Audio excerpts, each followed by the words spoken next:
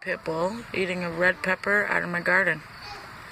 She sat there and begged me for 20 minutes for it.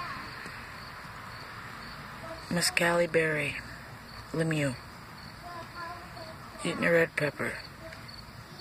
But get it, that diggy. Hello, bitch. Hello, dog. It's fascinating. She's eating my red pepper from the garden. My garden.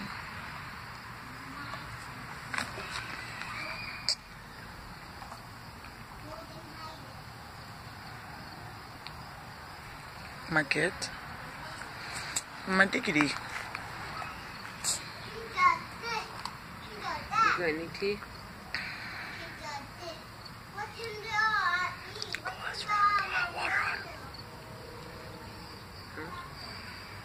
No, because then he bitches at me. I don't want to hear it from her. I don't want bullshit from her. Take from nothing from her.